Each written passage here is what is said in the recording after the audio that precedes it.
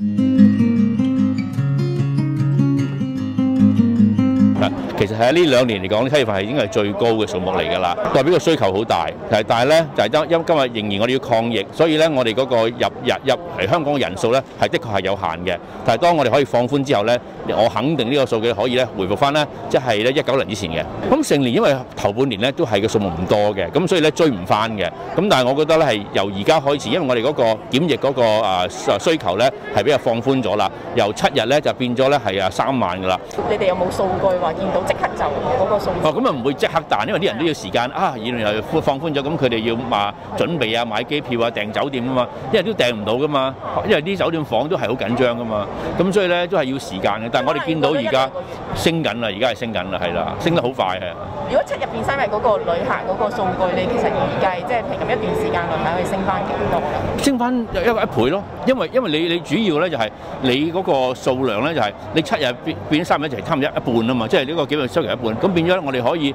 檢疫酒店嘅房間咧，係可以招呼多一倍嘅旅客咯。嗱，旅發局咧就係我哋已經有好多唔同嘅計劃咧，就係吸引咧就係外國朋友嚟香港。研究，就會話俾我哋聽咧，大部分都係短途旅客嘅，東南亞飛可能一兩個小時啊，或者係內地，如果旅客可以坐火車嚟嗰啲咧，就最容易咧就係吸引到佢哋嘅。長途客咧係要時間，因為航班嗰個數量啊，同埋佢哋比較遠嘅旅行咧係仲仍然都係有啲保留嘅，但係近距離嗰啲咧，我哋好有信心咧，好快會嚟香港嘅。咁所以我哋有啲藍紙計劃，針對唔同國家，邊個國家可以開放俾佢嘅話咧，我哋會可以咧就係咧有唔同嘅即係推廣活動啦，吸引佢嚟香港再玩。我哋不斷咧喺我哋嘅網站啊，或者唔同嘅 KOL 咧係推動緊香港，推廣香港。所以好多外國朋友咧對香港發生緊咩嘢啊，有咩旅遊新嘅一啲設施啊，佢哋好認識㗎。啲航空公司佢哋都已經係啊，即係受咗疫情影響咗一段時間。咁啊，同埋咧佢哋亦都係要揾人去做嘢啊。加埋咧，我知道最近咧燃油咧都係啊，嗰個價格係係升咗，咁所以對機票咧係有一個影響嘅。